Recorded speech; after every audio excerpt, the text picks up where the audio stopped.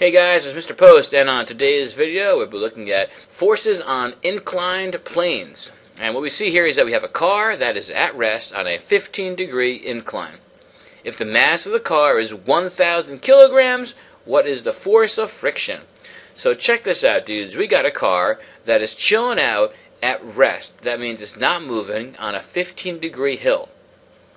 The mass of the car is 1,000 kilograms. And the question is asking what is the force of friction. Now here is the deal. A car that is at rest is going to have balanced forces. The net force is going to be equal to zero. If the net force is zero, every force must be balanced out. Now the problem begins by drawing a free body diagram. And as you see, I've already started drawing the free body diagram, and we're going to continue to do so.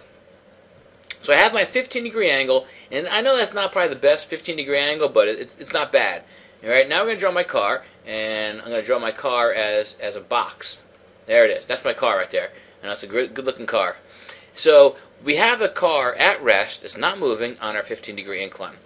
We have to draw the forces present, the forces that are acting on this object. And the first force that's acting, always we know, is going to be the force of gravity, and that's going to equal to the mass times acceleration due to gravity.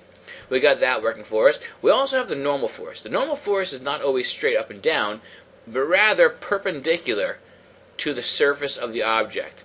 And I'm trying to do a good job of drawing a straight line there and making that 90 degrees to the surface. It's supposed to be perpendicular. Normal forces are often called perpendicular forces. Then we also have working on this object the force of friction. So I have friction going in the opposite direction that the object wants to be moving in, which is downhill. So any object that is at rest, force of friction is playing a big case when the object is on an incline. Now we're going to resolve the first thing here, which is force of gravity. So the force of gravity is going to be equal to the mass, which the problem tells us is 1,000 kilograms multiplied by the acceleration due to gravity. We're going to use negative 9.8 meters per second squared. And this is going to give us an FG of negative 98,000 newtons. So awesome. We already got our gravity taken care of. Negative 98,000 newtons. The thing here, though, guys, you have to understand with an inclined plane, in order to discuss a net force, we need to have forces on the same axis. Now, right now, there's nothing on gravity's up and down axis. So what we're going to do, we're going to talk about two terms, parallel and perpendicular. Now, I'm going to draw a little triangle up in this corner because I don't want to ruin my current triangle here. When I say perpendicular, I'm going to be referencing this plane right here, this plane. So I want to say which forces are actually perpendicular to the plane, meaning upwards or downwards that way. And you'll notice they're perpendicular, they're at right angles. So we're going to look at forces that are perpendicular because we have to compare forces that are on the same plane of existence. And we're also going to look at forces that are parallel. And the forces that are going to be parallel are parallel to the surface. Everything I'm talking about is relative to the surface. And right now you see one of my parallel forces is the force of friction.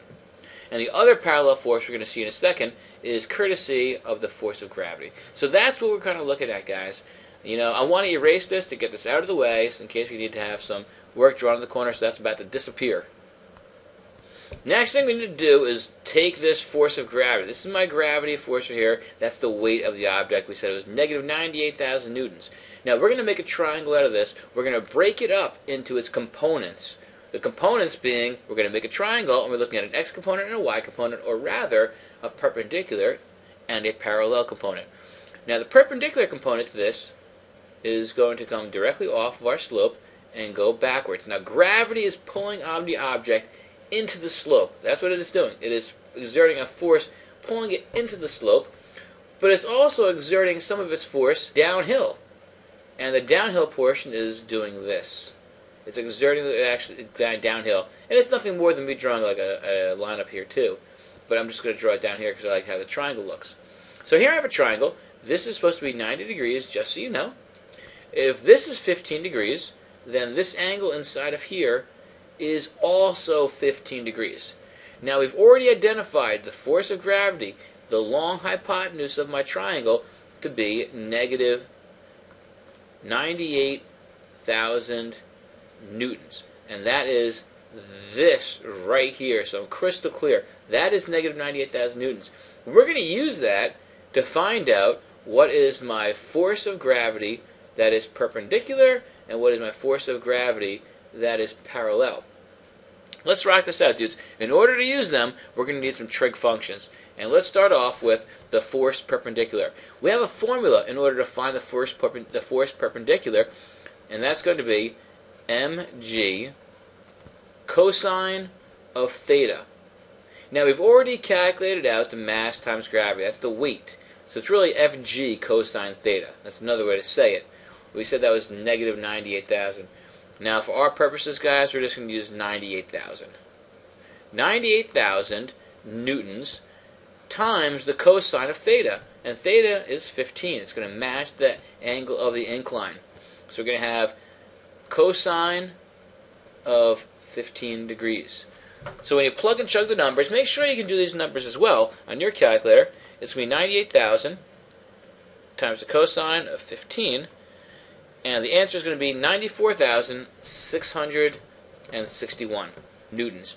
What does that represent? That represents the force perpendicular. So the force perpendicular is 94,661 newtons. We're going to call that negative because it's going kind of downward. The next thing we're going to do now is calculate out the force parallel. The force parallel has a similar formula, and it's mass times gravity times the sine of theta.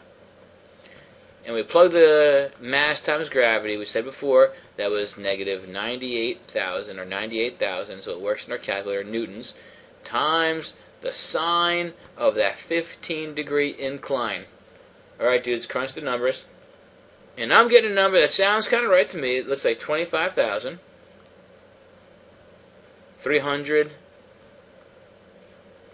364 newtons. That is going to be this right here. That is my force parallel. So the force parallel is going to be equal to 25,000 in this case, it's going to be a, a negative because it is going down the hill. It's pulling it down the hill. I have a negative 25,364 newtons. And that is what this is. That is this component. That is what gravity is doing. It's pulling it downhill. I know I express it in a triangle down here, but really that's what I'm talking about. So really this downhill portion here is my force parallel, and that is 25,000 364 newtons. That was negative. Now here's the deal, dudes. Force normal is going to be equal to this, the force perpendicular. It's an equal and opposite. So gravity is pulling into the slope with a force of negative 94,661 newtons. The force is, uh, the surface is responding with an equal and opposite, so the normal is going to be positive 94. 661 newtons. The question coming from the beginning in the get-go is, what is the force friction? Well, this all comes from this. The car is at rest. Any object that is, that is at rest will have balanced forces. We only have a few forces at play here. You know, the normal is balanced out by the force of gravity, the force perpendicular, going into the slope. Friction, therefore, must be balanced with the downhill portion of gravity, so therefore friction must be the same as the downhill or the force parallel due to gravity, which is 25,364 newtons. That's awesome, guys. We, we went all the way there. We found the force of friction. You know, I'm going to take this one step further. I hope you hope you don't mind. I want to find out what is the coefficient of friction. You know, what's happening on this surface here? What is my mu value? And a lot of problems, I'm going to ask you that anyway, so why don't we just do it even though it's not asked for in the problem? And we're going to use this formula. Force friction is going to equal the coefficient of friction times the normal force. And we'll just start labeling these up here.